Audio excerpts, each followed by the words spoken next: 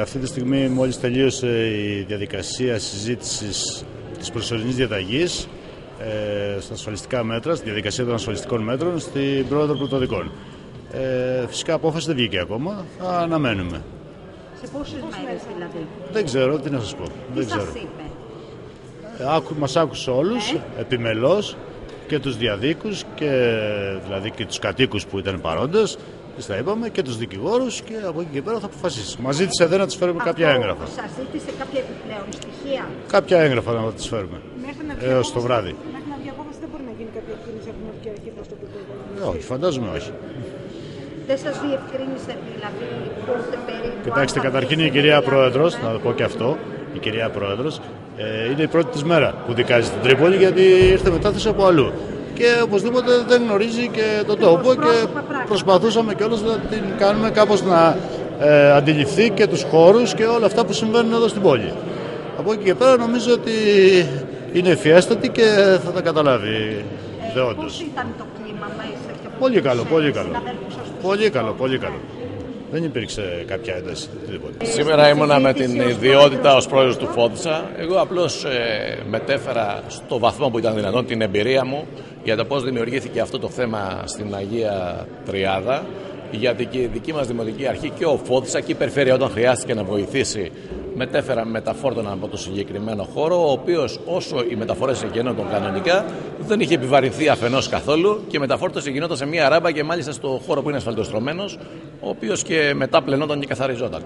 Ε, θεωρώ ότι πρώτα απ' όλα το, για 4-4.500 τόνους να, πάμε σε, να πάει η Δημοτική Αρχή σε άλλο χώρο είναι δώρο άδωρο. Αν αυτός ο χώρος γινόταν ε, μόνιμο, δηλαδή μπαίνουν- έμπαινε σε ένα σχεδιασμό και γίνονταν οι αναγκαίες ε, υποδομές, πιθανότατα μπορούσε να συζητηθεί.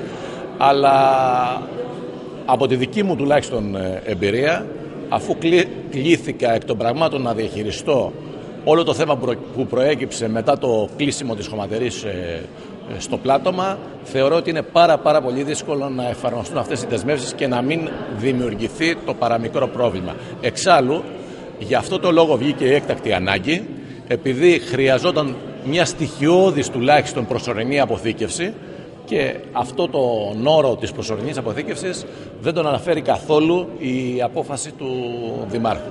Όσον αφ- αν ήταν δυνατόν να γίνει αυτό, είπα και μέσα ότι υπάρχει στην κυρία Πρόεδρο ότι υπάρχει μία ράμπα στην Αγία Τριάδα σε χώρο δημοτικό που αν όλα ήταν ιδανικά και μπορούσαν να γίνουν, μπορούσε να γίνει μεταφόρτωση από εκεί και να μην δημιουργηθεί κανένα πρόβλημα τουλάχιστον για αυτές τις 4.000 τόνους. Εμείς ζητάμε ασφαλιστικά μέτρα μόνο και μόνο γιατί το, τη μόνη δύναμη που έχει ο πολίτης απέναντι στις αυθαιρεσίες της όποιας εξουσίας είναι η δικαιοσύνη.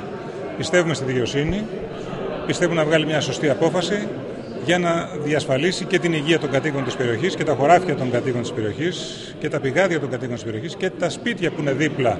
Ε, η αντίδικη εδώ πέρα παρουσίαση είναι ένα χιλιόμετρο. Υπάρχει το σπίτι του κ. Παπαδόπουλου για παράδειγμα που είναι στα 450 μέτρα υπάρχουν ε, χωράφια που καλλιεργούνται. Ε, και βεβαίως ε, αυτό που ανέφερε και ο πρώην ε, Δήμαρχος είναι ότι ράμπα υπάρχει, γιατί α, θέτουν το θέμα της ε, επίγουσας ανάγκης ε, αποκομιδής των σκουπιδιών κτλ. Ράμπα υπάρχει στην Αγία Τριάδα, ενώ εκεί δεν υπάρχει τίποτα, είναι σκέτο χωράφι 8 στρεμμάτων, που όπως καταλαβαίνετε χρειάζεται ένα κάρο λεφτά, 100.000 ευρώ να φτιαχτεί, ε, υποδομές και μετά να έρθουν τα απορριμματοφόρα να αδειάζουν τα σκουπίδια από ό,τι λένε στα κοντέινερ τα οποία πληρώνουμε τα κοντέινερ για να πηγαίνουν στη φυλή. Αυτή την παράνοια μόνο εδώ στην Τρίπολη τη ζούμε. Η- Το Άργος έχει χώρο που ε, θάβει τα σκουπίδια. Η Σπάρτη ομοίως, η Καλαμάτα ομοίως. Εδώ αυτή την παράνοια τη ζούμε. Και δεν ξέρουμε γιατί τη ζούμε και γιατί εκβιαζόμαστε αυτό το πράγμα.